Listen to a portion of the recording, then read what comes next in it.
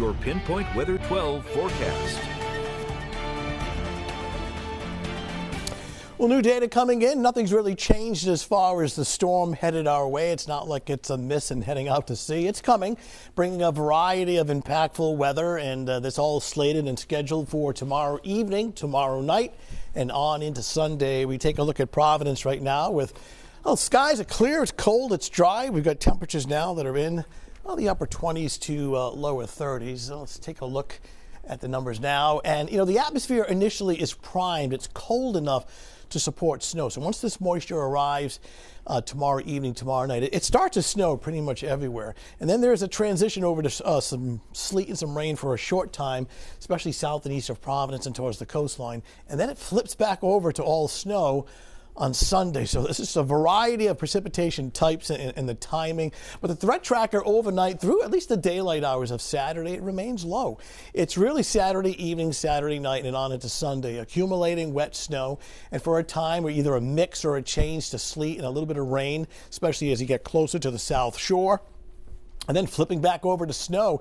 It's interesting because uh, Sunday starts off with temperatures in the 30s, but it drops rapidly by noontime to change back to snow. Anything wet or slushy is going to freeze up. We call that a flash freeze when the temperature drops very, very fast, and we anticipate that uh, coming up on Sunday. So it's dry skies across New England. You can clearly see the moisture that we're anticipating for this weekend. Uh, across the Mississippi Valley and the Gulf Coast, all tracking north and east. This will ride up and on top of the uh, dome of cold air that we have right now, and that's why we start as snow before going over to a mix. So we take this into tomorrow morning. The white is not snow, it's actually cloud cover uh, 9 o'clock in the morning. Uh, filtered sun through increasing clouds, staying dry. And then here comes the moisture. The arrival time has been moved up now. So this is around 7, 8 o'clock in the evening. This darker blue represents the snow working in with the green and yellow indicating some rain just offshore, which tries to sneak in briefly and then, and then it goes back over to snow. But because we do have a transition for a short time to um, to rain and sleet, it makes the, the accumulation forecast that much more difficult. There's more math involved. But here's the breakdown. The areas in blue, it pretty much stays all snow. Uh, in pink, it's a snow, sleet mix going over back to snow. And, and in the green, not as much snow, some sleet and rain, but even here, you'll get a, a some few hours or several hours worth of snow.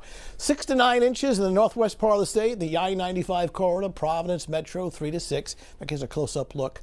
So as little as six to as much as nine in this darker blue zone. This light blue area, as little as three to as much as six. It's a moderate snowfall. And then one to three inches along the immediate south shore. How's this for detail? This is in alphabetical order. Let me step out of the way town by town of, as to how much snow will fall, and you've got the range here. So, for instance, Foster, Glocester, six to nine. Uh, looking at Jamestown, one to three. Block Island, one to two. Now, this is a lot to, to look at, and we'll show you Massachusetts as well, Bristol County, Mass. Uh, but you can find this on our website at WPRI.com in the Weather Now section. And, and moving forward, we're going to do this pretty much with every snowstorm. So, Mike, while we do show like an accumulation map, if you want to get real detailed, we're going to kind of list each town and show you how much we're anticipating. So here's the breakdown. It's tomorrow evening, tomorrow night into Sunday. It's mostly snow, but for a time there'll be a little rain and sleet mixed in. That 36 degrees on Sunday is deceiving. That's early in the morning. The temperature will crash uh, during the uh, the afternoon hours as it falls into the 20s. So if you're coming home from the Patriots game, I mean, it'll, it'll snow for the game. Uh, forecasting three to six for Foxborough, but roads will be icy as the, any wet surfaces freeze as the temperature drops. So be careful. I was asking Tony, you know, when should we get rid of the snow? You know, get up early in the morning. You need to do that. Yeah, it's a wet snow. So by Sunday morning, the temperature's still above freezing. If you don't get rid of it, you'll have to chisel it because it'll freeze solid as the temperature drops. Yeah. All right. All right. Thanks.